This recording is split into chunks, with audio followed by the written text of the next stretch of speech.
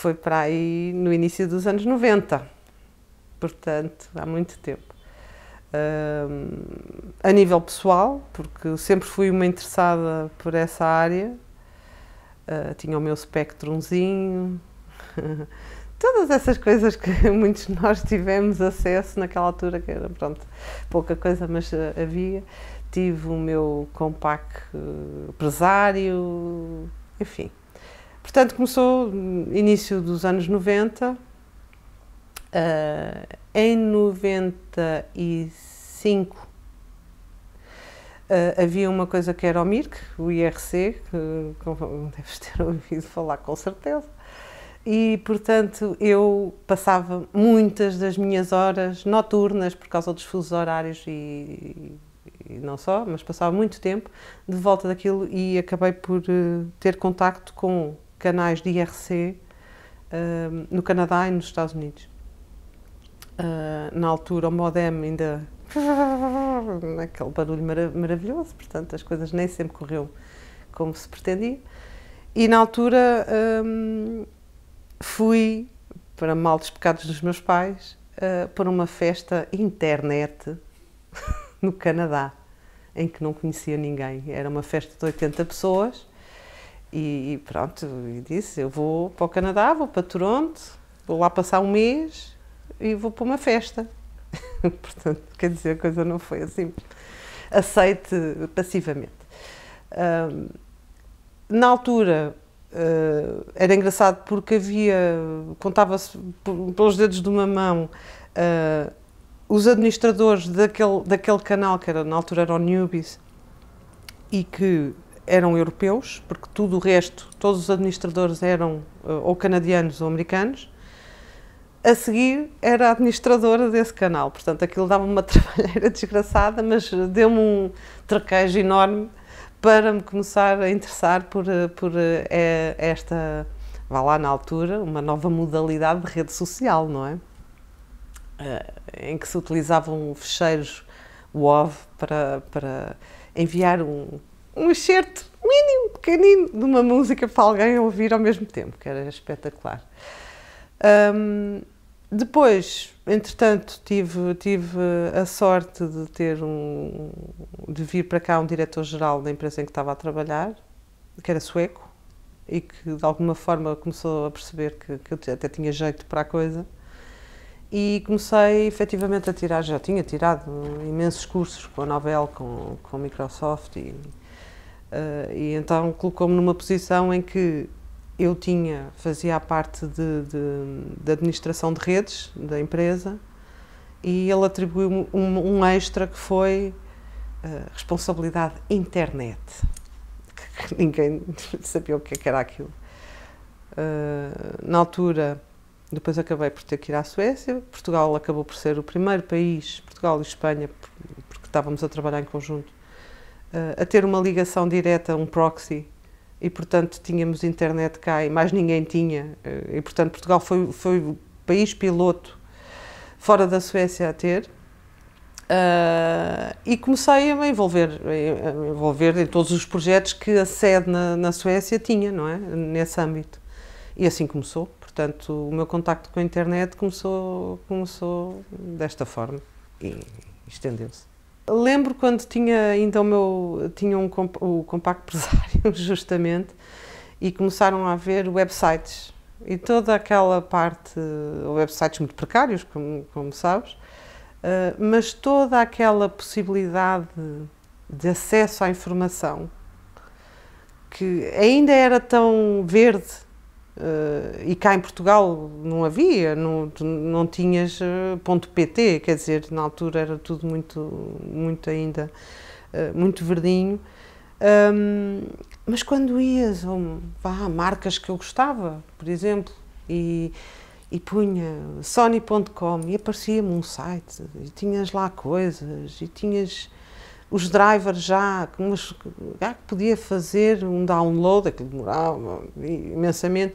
Portanto, eu acho que foi na altura em que saíram os computadores uh, pessoais multimédia e que nos davam outras possibilidades também, não é? Uh, e quando efetivamente comecei a perceber que uma marca uh, devia estar na, na, naquele mundo, naquele universo, qualquer que, que fosse aquilo que estava a acontecer, uh, a, a, a, facilidade com que tu poderias eventualmente aceder à informação que até aí tu não tinhas, não é? Uh, aquilo fascinou-me. Na altura, eu lembro-me que, que, quando fui para a Suécia e participei num, num projeto logo de início, em que se iam fazer 50 websites para 50 países, em que se iam pôr um projeto megalómano na altura. Toda a gente dizia para que é que nós estamos a fazer isto, nem os países percebiam o que é que, o que, é que se estava a, a passar, e portanto o, o facto de teres equipas locais a preparar informação de produto para a web era uma coisa louca, não é? E eu sempre, a partir de um determinado momento, eu percebi, não, isto, isto nós temos que ter online. Porque isto mais tarde ou mais cedo, isto vai se generalizar, o acesso vai começar-se a democratizar e as pessoas vão ter acesso a coisas que nós neste momento não temos. Mas a tecnologia vai se desenvolver neste sentido. Eu acho que foi os poucos websites que, de marcas que a mim me diziam alguma coisa na altura e tu começares a ver olha, olha, eles têm. É um bocadinho por aí. Eu sei que toda a base de conhecimento que tu hoje tens numa internet, boa ou má, é uma base que é uma coisa, é uma coisa infinita, não é? É uma grande revolução para gerações, por exemplo, como nossa, a nossa geração. Para os miúdos já não é, não, já é tudo dado um pouco de bandeja. Mas eu acho que a nível de conhecimento é, é magnífico, é magnífico porque assim, seja o que for, tu se tiveres vontade e empenho realmente, não é acreditares no que a primeira coisa que tu encontras quando vais à Google e uh, acreditas naquilo logo primeiro. Não, se tiveres realmente vontade de saber, de conhecer, de, de explorar, de, de ir à procura, uma revolução, uma coisa, já, já tem sido durante os anos e continua a ser, e cada vez mais dão-te os meios uh, de, de, de, realidade aumentada, de outros, outros meios, inclusivamente, para tu adquirir ainda mais. Não sei onde é que a gente vai parar, mas, mas efetivamente uh, é revolucionário. Uh, acho que não é. A internet, felizmente, vai se desenvolvendo para o bom e para, e para o mau, não é? Ah, mas felizmente nunca parou ali. Não, há sempre coisas a acontecer. E tu, uh, eu, provavelmente porque trabalho nessa área, uh, tento vasculhar muito, até perceber de onde é que são as fontes, quem é que publicou, o que é que se publicou. portanto, acabo por fazer um trabalho de pesquisa naquilo, daquilo que eu preciso faço um trabalho de pesquisa e, e, cuida, e com cuidado, porque realmente encontra-se muita coisa que não interessa. Mas a nível de conhecimento, é, realmente é uma arma uh, enorme, enorme, muito forte, é uma revolução mesmo, é uma revolução. Ora bem, como tu sabes, uh, a maior parte do meu percurso profissional não foi passado cá. Foi passado em França, foi passado na Suécia e, portanto, como tal, eu, eu acabei, ah, e nos Estados Unidos também, mas acabei por estar em contacto muito próximo com mercados que nada têm a ver com Portugal. E tu aí estás-me a falar só de Portugal ou estás a falar no geral, cá em Portugal? Portanto, são mercados que nada têm a ver. Uh, estive, estive a trabalhar com, com, com, mercados europeus, estive a trabalhar com mercados da América Latina, inclusivamente. Uh, uh, norte-americanos e, portanto, o que é que acontece? É que a literacia digital uh, em muitos desses mercados é que nem tem, não, não há sequer a possibilidade de comparar com aquilo que existe em Portugal. Pronto. Uh, estão muitos anos para a frente. Uh, a Suécia, como tu sabes, é um país que é inovador nessa área, portanto, desde o início dos anos 90, portanto, já estava a falar nisso. Um, e, portanto, só efetivamente alguns países na Europa uh, é que tinham essa mesma vá literacia literacia que, que nós aqui em Portugal, eu acho que ainda temos. O que é que acontece? Eh, quando comecei a trabalhar em Portugal, eu deparei-me justamente com esse problema, em que tu vais a um cliente uh, e não consegues quase valorizar o trabalho que fazes. Seja porque o, o cliente uh, acha que fazer Facebook é super fácil, qualquer, tenho um sobrinho lá em casa que faz lindamente, não tem ideia do que é que é o reporting, não tem ideia do que são objetivos de negócio para aquele canal digital. Por vezes, principalmente uh, pequena, pequenas, médias empresas, e muitas vezes até já de outra dimensão, mas tratam, acabam por tratar digital de uma forma muito hum, minimalista, nem, nem é esta a palavra, porque a coisa é tão demolidora, vá, para nós, uh, acabam por menosprezar todo um trabalho que deve ser feito desde o início quando tu estás a trabalhar com uma marca. Ou seja, se uma marca quer, ok, eu quero crescer uh, nas redes sociais, sim senhor, quais são os objetivos? Ah, nós queremos vender. Bom, ok, tem, querem vender, mas não estão à espera que passado um mês estejam a vender milhões porque não vão vender milhões. Tem budget para publicidade? Ah, não. Nós somos uma startup, não, não podemos. Ok, pronto. É que sabem que isto não é fácil realmente de se pôr eh, as coisas para o mundo ver, não é? Hoje em dia paga-se para isso. Portanto, das duas, uma. Não tem, não tem dinheiro para publicidade, tem conteúdos? Ah, não. Ok, então banco de imagem. Ah, mas nós não temos dinheiro para. Então com que imagens é que. Ah, não, nós temos umas imagens e. Bom, portanto, ou seja, é, um, é uma pescada de rabo na boca. Tu andas ali, muitas vezes não tens as ferramentas que deverias ter para implementares toda uma estratégia que tu próprio fazes, mas que o cliente nem se dá conta sequer que tu estás a fazer, porque não vai, não, não percebe. Um, e que no final te dizem: Ah, não tive conversão nenhuma. Conversão. Que nem fazem ideia às vezes o que é que. Conversão. Não, é que não tive nenhum contacto. Pois não. Portanto, temos a página há um mês, há dois meses ou há três meses. Assim, uh, vendo bolachas, portanto, isto vai ser um bocadinho difícil. As coisas não acontecem de um momento para o outro. Temos de fazer isto, temos de fazer aquilo. E todos os meses, por exemplo, apresentando reporting, que é outra das dificuldades que eu não sei, mas eu dei-me conta, foi uma das grandes surpresas da minha vida, foi uh, perceber que as marcas ou os clientes não têm uma pessoa que mensalmente lhes vá dar conta do que é que se passou, que é uma coisa para mim. Uh, ah, não, tenho o site, mas sabem quantas. Não, temos o site com alguém, mas eles não mandam informação. Ah, mas eu preciso da informação. Portanto, ou seja, uh, aquela reunião que mensalmente tu te sentas com o cliente e dizes: Meus senhores, temos aqui as métricas, faz uma análise executiva, sumária, o que seja, daquilo que aconteceu durante um mês e defines, alinhas estratégias para o próximo, não é?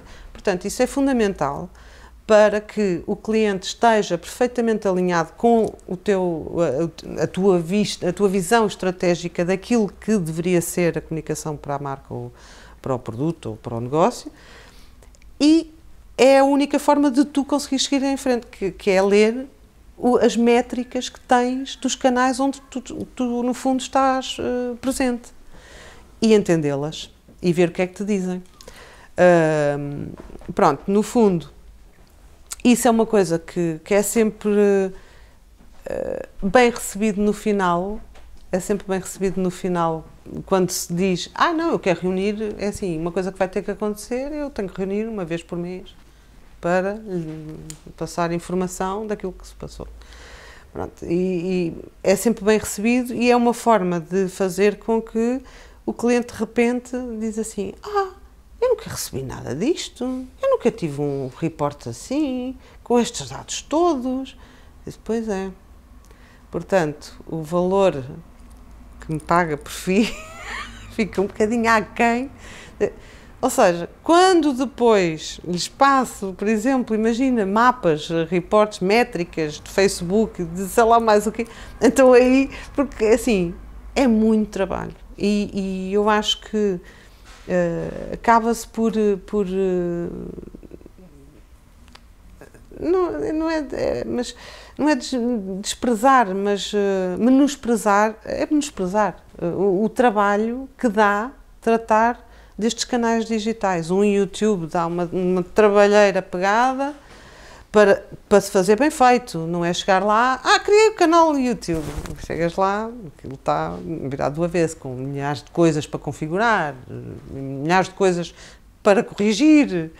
Uh, um Facebook fazer configuração de campanhas, um LinkedIn, fazer configuração de campanhas, criar os anúncios, criar a parte fazer a parte criativa, atribuir audiências, definir uh, toda aquela parte de segmentação de, de, de, de, demografias, de interesses, do que seja. Tudo isso são horas e horas e horas e horas que uma pessoa passa. E depois não é só criar e põe lá. Não. Um Facebook ou um Instagram, ou seja, que rede social for, tem que ter um post plan. E quando eu falo de um post plan, tem que ter um post plan mensal. Tu não tens de fazer o, o post plan uh, por inteiro, mas deves tê-lo alinhavado. Porquê? Não, eu sou contra o acorde de manhã. Ah, o que, é que eu, o que é que eu vou publicar hoje? Eu faço isso para o Dustin Pitlane, para, para o meu projeto, ou seja, tenho as coisas alinhavadas, sei quando é que as coisas acontecem e faço de acordo com isso. Um post plan, tu preparares, perceberes que campanhas de publicidade tens que realmente começar a preparar. Tens que começar a preparar toda a parte de reporting, os templates, ver o que é que vais medir, teres os KPIs, os indicadores que te vão permitir medir toda a performance daquilo que tu estás a fazer e que vai dar a análise final ao cliente para ele perceber o que realmente está a pagar. Porque convenhamos que é assim, uh, às vezes tu explicares, ah, nós tivemos, temos uma comunidade de 100 mil. Sim, senhor. Ei, que espetáculo. Ei, é tanta gente. Espetáculo. Mas, eu não, não, mas ninguém vem cá, nem. Pois. É assim, pois, sabe, é, isto às vezes não funciona. Não, isto não me venham com histórias, não me venham dizer tipo. Uh, nós queremos ter. Agora as coisas já estão a mudar nesse âmbito, felizmente, mas aqui há poucos anos não era assim. Uh, não dizerem nós queremos ter uma página com 100 mil seguidores. 100 mil, ok. E, e, e portanto, de engagement, que, qual é a vossa ideia? De, de uh, interações, o que é que vocês já, já pensaram então noutros, noutras métricas? Não, é? não, não, não, eu só quero, quero ter a página, isto é verídico porque foi uma coisa que me aconteceu. Eu, só quero, eu quero ter a página, mas quero ter 100, 100 mil seguidores. Então, mas é assim, o senhor pode ter 100 mil seguidores, bem, primeiro vai ter que, vai ter que gastar aí um, um dinheirito, não é? Pronto. Mas uh, para ter os 100 mil e depois tem que conteúdos, não tem nada. Pronto, ok, vamos fazer uh, compra e vamos pôr de imagens. Uh, pronto. Mas qual é o seu objetivo? Porque assim, pode ter os 100 mil e ninguém vê a sua página, ninguém, vai, ninguém vem à loja virtual. Estão-se marimbando. Portanto, o senhor tem 100 mil e não está a fazer nada de jeito. Porque realmente não serve de nada ter essa gente toda. Agora, se me disser, Anabela, vamos investir durante seis meses, um ano, vamos aqui construir uma comunidade em condições que interaja, que se interesse, que publique, que partilhe, que fale, enfim. Aí estamos a falar de outra coisa. E então aí, se calhar, nós vamos ter, chegar ao final do ano e temos 10 mil, 12 mil. Aí já a coisa, ah, isso faz, vamos a isso, não é? E provavelmente chega ao fim e tem níveis de interação malucos. E tem bons resultados e tem bom alcance, porque isso, no fundo, é a saúde da tua presença online num determinado canal. É quem é que vai interagir contigo. Se tu tiveres uma página que tem 100 seguidores e tiveres 50% deles a pôr likes, a coisa, estás feliz. Tens ali 50 pessoas. Portanto, essa, eu acho que é essa uh, mentalidade que, que falta uh, um bocadinho com relação ao, ao, digital, que no fundo é perceber, primeiro, qual, qual é o objetivo, o que é que se pretende? Não é tudo igual, portanto, num LinkedIn, o que é que se pretende? Com quem é que vamos falar? A quem é que nós temos que, que quem é que vamos abordar? Um Facebook, que, como é que vai ser? A nível de, de, social customer care, como, quem é que vai falar com o cliente às horas da noite? Porque se for dependendo do negócio, mas há alguns que exigem efetivamente que tu tenhas ali um grupo de pessoas sempre a trabalhar. Tens que saber que objetivo tens para cada uma dessas presenças e depois, efetivamente, perceber pelos números, sempre pelos números, nunca por outra coisa qualquer, uh, onde é que tu estás e que tipo de, de, visibilidade é que tu estás a ter. Porque tu podes, uh, tu podes ter muito bem uh, eh, 10 likes numa publicação tua, mas essa publicação efetivamente ter tido um alcance muito superior àquilo que tu possas imaginar, organicamente. Porquê? Porque pessoas partilham mas as suas configurações de privacidade não permitem que os dados sejam passados para, para terceiros. Portanto, tu não tens ideia. Só quando tiras os, os, números finais é que tu tens ali os valores realmente para trabalhar. Esses valores, esses números, que são muitos, têm que ser trabalhados e interpretados. Uh, eu acho que é por aí. Eu, eu sou adepta do less is more. Nunca sugiro, ah, tem que estar aqui, ali, ali, ali, ali. Não. Eh, se o cliente quiser, paciência. Mas não, não sou apologista dessa estratégia. Uh, sou, sim, uh, apologista de trabalhar bem cada um dos canais, afiná-los. Porque, quer se queira, quer não, um Facebook, até tu percebes a dinâmica de publicação, o, o, o conteúdo que a comunidade gosta, porque a comunidade vai crescendo, vai mudando. Portanto, cada mês é diferente. Mas quando tu uh, uh, chegas a um determinado patamar, tu consegues criar uma linha uh, de interpretação daquilo que é o comportamento do, do, do, dos que estão online na tua comunidade. E, portanto, consegues tirar conclusões. Mas demora tempo. Digo-te que uma página normal de Facebook, três, seis meses é o tempo que tu precisas para conseguir entender a dinâmica daquilo. O mesmo acontece com as outras. O Instagram é muito instável a nível de quem segue, quem não segue.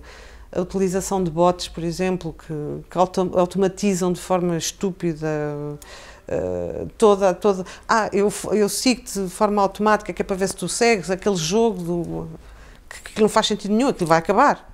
Essa, eh, os bots de follows, isso acaba um dia destes, porque já há paródias, inclusivamente, sobre algumas pessoas que são conhecidas e que utilizam e que cada vez dizem assim: Ei, o meu sonho é ser seguido pelo não sei quantos.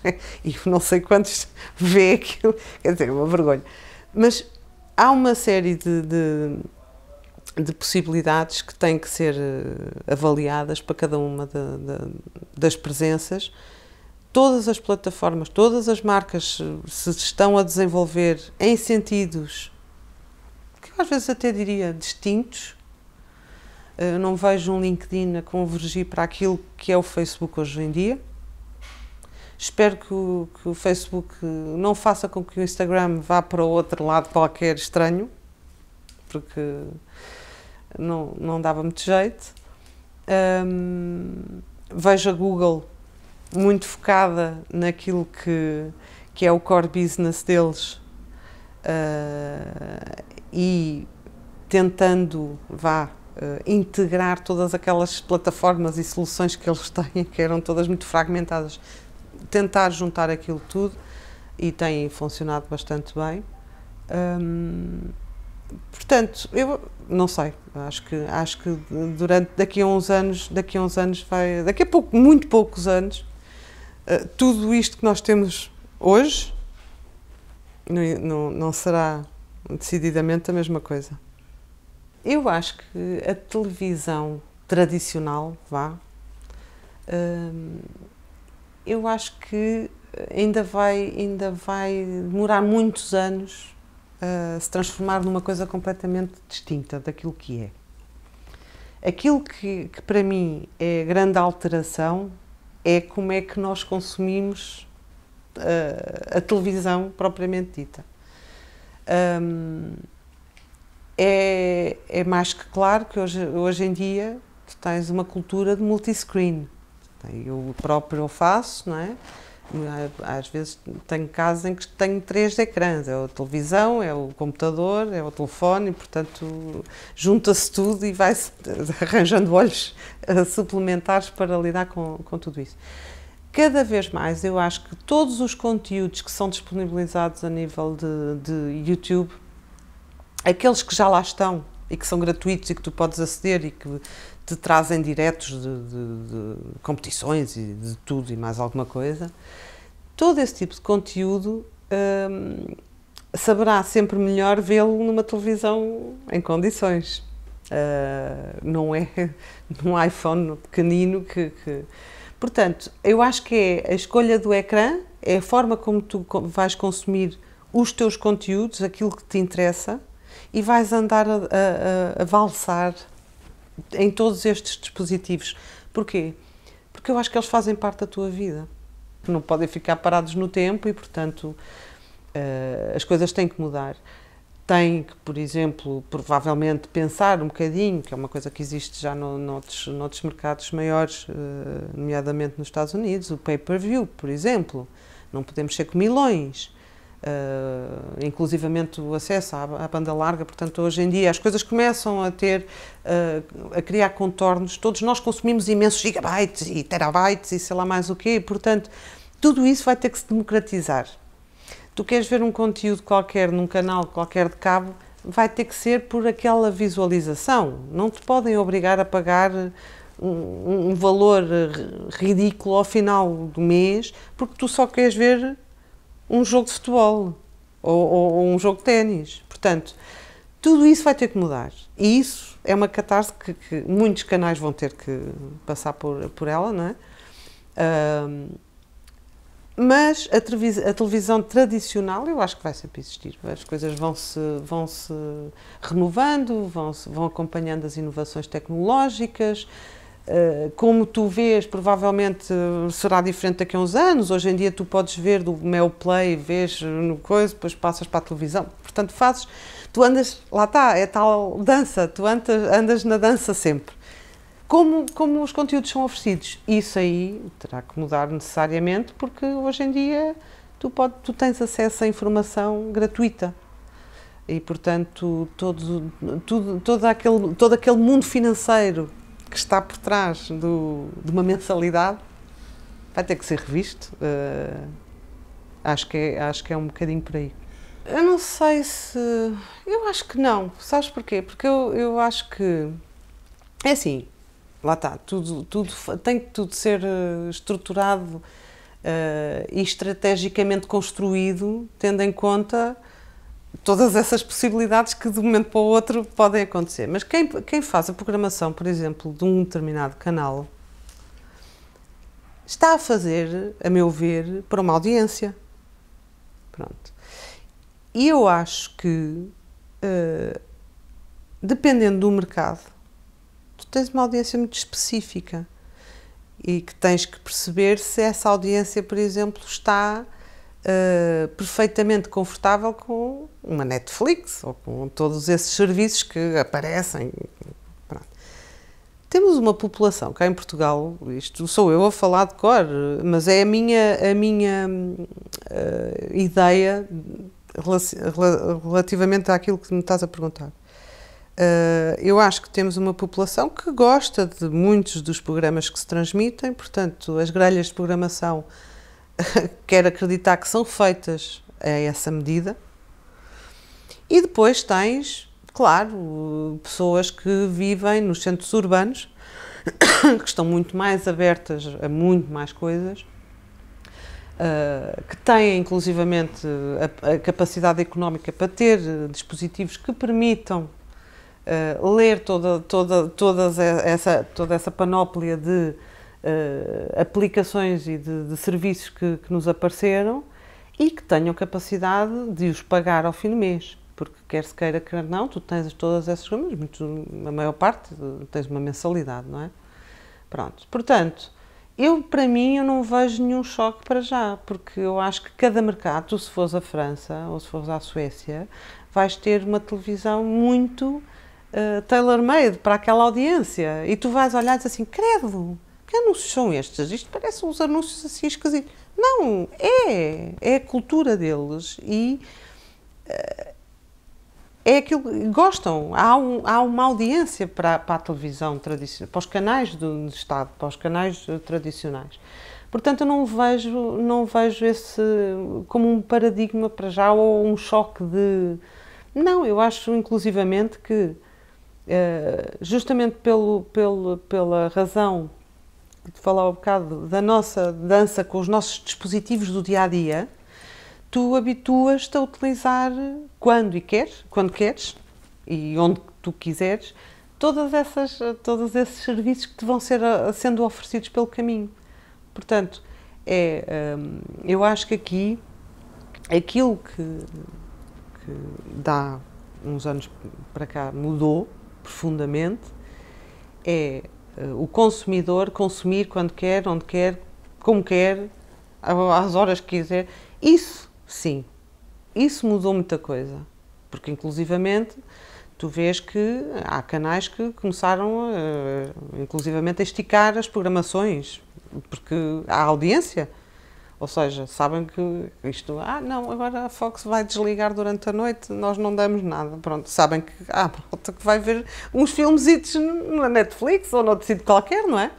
Portanto, a nível de pirataria existe, toda a gente sabe, as pessoas vão, vão ver, mas lá está. Eu acho que se houver eh, bom senso da parte de quem trabalha televisão hoje em dia e que tenha realmente os meios para fazer e que compreenda as audiências que tem, eu acho que se consegue, acho que se consegue ser interessante desse lado, como ser interessante do outro lado. Eu, e falo isto porque eu sou cliente dos dois lados, um bocado vendida, portanto vejo coisas na televisão que gravo, nunca vejo em direto, portanto é a política do quando eu quero.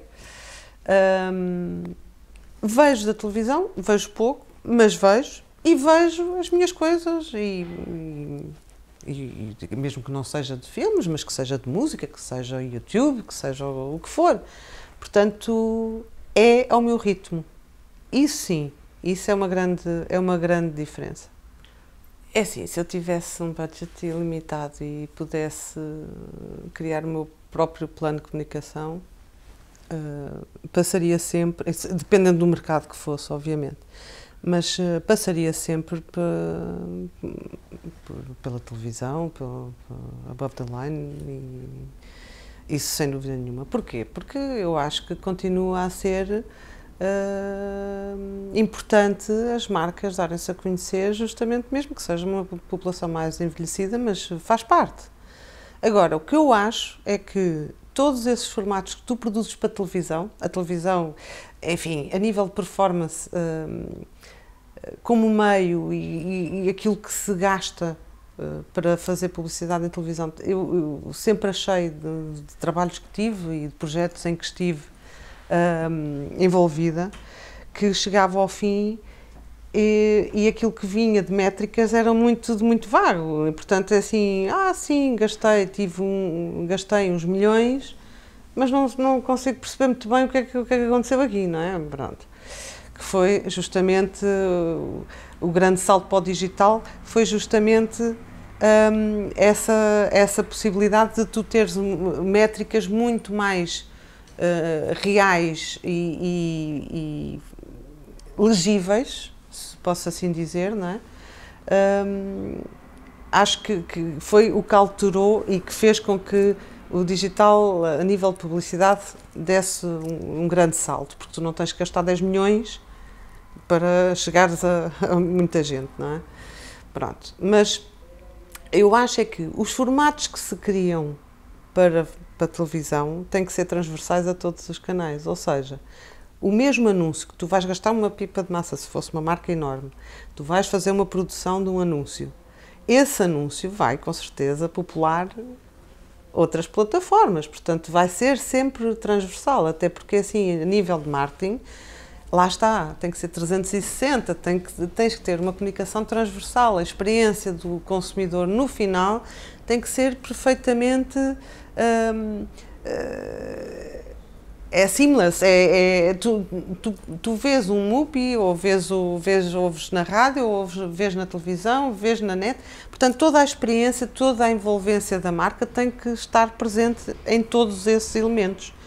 E portanto, uh, tendo budget, tens um mercado que tens, uh, o, teu, o teu target tem a ver, portanto, com aquelas pessoas, eu acho que faria, faria uma campanha transversal, sim, a nível de meios. Não deixaria a televisão de fora.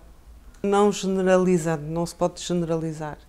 Mas é um facto que uh, é uma geração que um, a mim preocupa-me, porque no fundo uh, estão, estão muito despertos para muita coisa, alguma uh, é, é, é útil que estejam, mas há muita coisa para, a qual eles estão despertos, o que não interessa a ninguém. Pronto. Ou seja, uh, estamos a viver uma, uma época em que tudo acontece muito rapidamente. Uh, aquilo que é hoje, amanhã, já, já cansaram. Uh, as pessoas, a geração, essa geração vive muito baseada justamente na, absor na absorção de, de, de, destas redes sociais, dos likes, se teve likes, teve visualizações, se não teve visualizações, portanto vivem muito focados nisso. E eu acho que muitas vezes se abstraem de muitas outras coisas uh, que acabam por ser fundamentais mesmo para a nossa formação. E portanto para tu teres uma ideia do que é que é o que é que o que é que é eh, estar neste mundo, porque eh, quando tu te desligas e de repente passas a ser é tudo virtual, eh, não tens ligação com coisa nenhuma, não é? Pronto. Hum, portanto, é uma geração que me preocupa um pouco, porque vê-se pelo, pela facilidade com que as pessoas se expressam de formas muito violentas, rapidamente, portanto, escrevem e dizem coisas na, na internet que não lembra.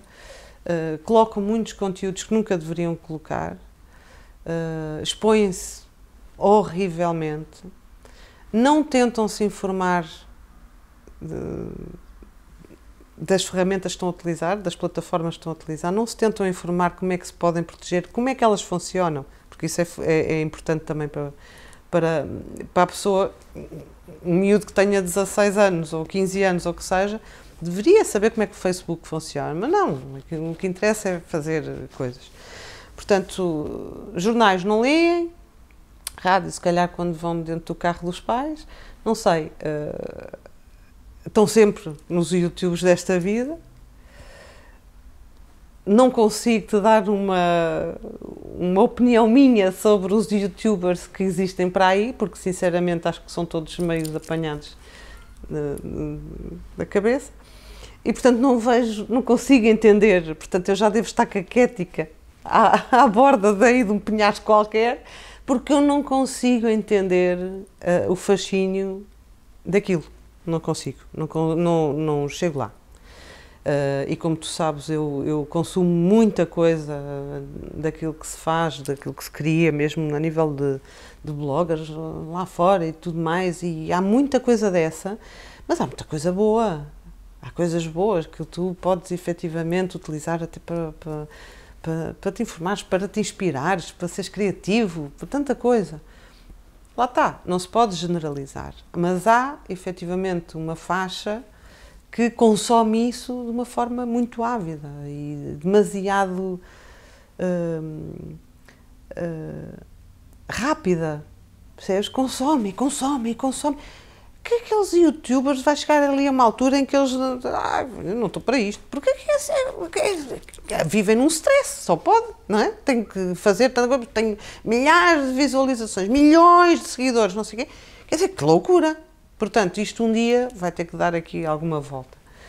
A nível daquilo que são uh, os nossos os nossos pilares, os nossos valores, aquilo com que nós crescemos e que acompanhamos durante as nossas vidas, uh, nomeadamente no que toca a temas sensíveis tipo a política, a religião.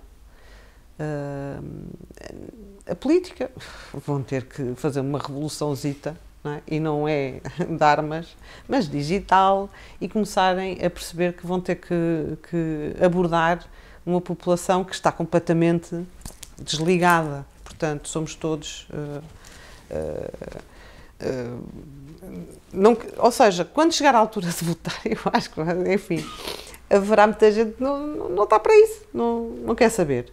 Pronto. Portanto, a democracia vai, vai sofrer com, com, com, essa, com essa geração. E depois a nível de a nível de religião é a mesma coisa. Muito embora por exemplo lá pronto, temos um Papa Francisco que foi para o Instagram fazer coisas. Que é assim que no fundo hum, tanto política como religião uh, são áreas que pronto que devem fazer parte da, da, vida das pessoas porque estamos vivemos em sociedades uh, supostamente democráticas e a democracia deve reger a nossa vida e devemos vivê-la e devemos eh, saber do que é que se trata e, e portanto, eh, este desligar dos jovens acaba por ser eh, algo que, que, que, é preocupante, não é? Porque provavelmente daqui a uns tempos não, não, não lê jornais, não vê notícias, não coisas, só vêem coisas que minha Nossa Senhora, não é? Uh, não sei, não sei. É criativo, se me falares, é uma, é uma geração criativa? É. Provavelmente nós não fomos. Porquê? Porque não tínhamos as ferramentas. E, portanto, nessa altura era tudo muito quadradão. Era. Então, e falhamos uma série de coisas ótimas que, que podia nos fazer muito bem, mas nós não tínhamos na altura. Pronto, eles têm. E as personalidades de, de, desta camada jovem hoje em dia é muito é muito baseada na criatividade, naquilo que pode fazer.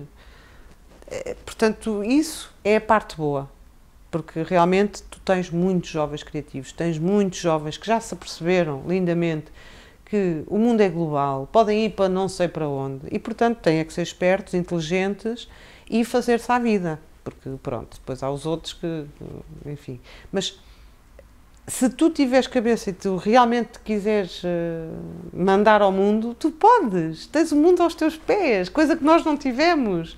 Nós não podíamos ter contactos com gente da Nova Zelândia quando queríamos, não é? Portanto, quanto muito, escrevias uma cartinha, mandavas, fazias parte do, do PenPal, não era? Não é o PayPal, mas é o PenPal. E fazias isso ou mandavam-se uns sinais de fumo. Hoje em dia, não. Os miúdos têm os miúdos, nós, felizmente, temos acesso a tudo isso. E, portanto, um, isso dá-lhes uh, dá uma dimensão a nível um, criativo que, é uma loucura, não é? E tu vês os millennials e toda, toda aí uma data de gente que já, já, já esteve a beneficiar de toda uma aprendizagem muito muito de uma sociedade que está muito aberta à criatividade e que, que acaba por uh, dar as boas-vindas a tudo isso. E, portanto, uh, isso é, é, é, muito positivo, eu acho. Uh, há um perigo. Há um perigo de, de, destes gigantes se sobreporem às democracias de cada país. Há. Isso sem dúvida nenhuma, até porque Uh, basta, por exemplo, tu seres bloqueado por um Facebook por, porque alguém anónimo te reportou e aquilo eles terem um sistema abusivo de reporting, que é abusivo, e te porem de castigo e mandarem-te para a prisão do Facebook, ficas de castigo, quanto tempo eles querem, não, não te respondem, ninguém te diz nada, tu não podes trabalhar, não podes fazer coisa nenhuma, portanto, hum, e tu dizes, mas o que é isto? Mas quem é o Facebook para me vir pôr de castigo e não me dar o direito de eu saber quem me reportou, porque é que eu estou nesta situação, de me dar uma explicação, de eu poder reclamar, de obter uma resposta. Portanto, a, a, a, tua própria liberdade é posta logo imediata, imediatamente em causa como uma situação simples. Estás a perceber o que é que, onde é que eu estou a chegar? Ou seja, portanto, quando tu tens um, um, todos estes gigantes que sabem muito sobre nós, é melhor nós não pensarmos muito sobre o que eles sabem sobre nós, porque eles sabem muito mesmo. Uh, portanto, um,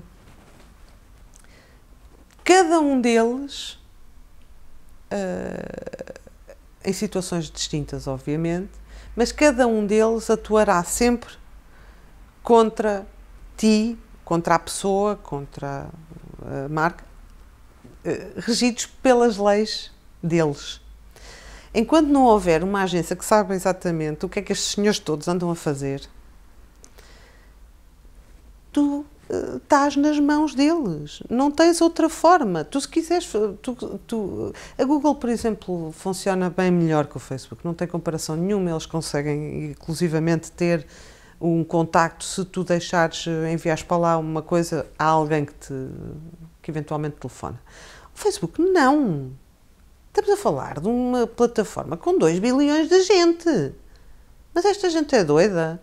Então quer dizer, o sistema, pelo algoritmo, alguém te reporta, não sei o quê. Isto é um mero exemplo, isto é uma coisa pequenina, atenção. Mas reporta, tu ficas preso. Tu, se fores à internet, vais ler de Facebook Jail. Oh, I've been punished. Pronto. E ficaste castigo. Tá. Ah, já saíste da prisão. Não, ainda lá estou, não sei de nada. Já lá estou há 48 horas. E, portanto, eles fazem o que querem. Portanto, isto para mim representa um enorme perigo para aquilo que são as democracias de cada nação, de cada país, de cada sociedade, porque eles sobrepõem-se. E, e, a partir do momento em que tu não obtens respostas, que tu não obtens nenhum tipo de, de ação da parte de uma marca, de uma empresa grande como esta, com relação às tuas liberdades e ao teu direito de escolha e ao teu direito de defesa, o Facebook está-se a sobrepor àquilo que é as nossas leis. Como é que tu lês isto? A quem é que vais reclamar? Não é? Uh, houve um ataque agora que há coisa de duas semanas, foi o Facebook, o Instagram e o WhatsApp. Tiveram todos em baixo durante, durante umas belas horas. Eu estive a acompanhar e é, é, interessantíssimo, porque é assim, tu ficas com os perfis todos tudo marado, depois as pessoas começam a entrar em stress, não percebem nada do que é que estão a fazer, desligam-se e tornam-se a ligar, e depois entram em pânico absoluto. Eu, infelizmente, levo com vários pedidos desse género. Ai, ajuda-me que aquilo já não consigo entrar e já não, e já não tenho, perdi o perfil e agora eles respondem-me para não sei para... Porque é tudo... Eu disse, senhores, não está um senhor lá a escrever-te. As pessoas não se capacitam que todas, todos estes grandes gigantes são máquinas. São servidores a ler os pedidos deles e a interpretar pedidos e algoritmos. Não está lá um senhor, olha, olha, ali o João Pico está-me aqui a pedir para, para lhe dar uma nova password, para fazer o reset. Não, tu podes reclamar para onde tu quiseres, não tens resposta. E, portanto, para mim, sim, sem dúvida nenhuma, isto representa um grande perigo para todos, para todos. Por isso é que eu acho que, tendo em conta aquilo que aconteceu a semana passada com o Facebook, mais 50 milhões de, de, de contas que foram outra vez eh, violadas, não é? Sabe-se lá o quê uh, e onde, que eles ainda não disseram.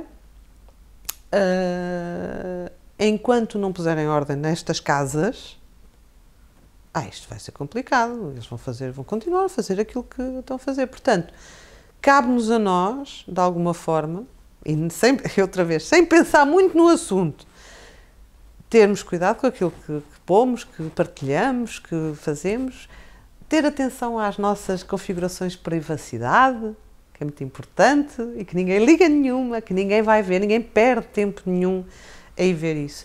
Super importante, super importante. Justamente porque tu tens que te, tu tens que te proteger não só de tudo isto que pode que acontece nestas casas destes gigantes. Uh, sim é nas casas deles. Mas também com possíveis atacantes que vêm de outros sítios que podem ir às tuas contas portanto as pessoas têm que se proteger não é estamos a chegar a, uma, a um ponto em que hum, tudo é possível tudo é possível. Muita coisa já se, uh, já sabem sobre nós. Uh, esperemos, é assim, eu fico um pouquinho mais contente se for só o Facebook, a Google e a Apple a saber sobre mim do que um hacker qualquer na Rússia. Digo-te já. Pronto, mas uh, cabe-nos a nós uh, também uh, nos protegermos devidamente e para isso é necessário recorrer a tempo, a paciência e a querer saber mais sobre a, as plataformas que nós utilizamos todos os dias.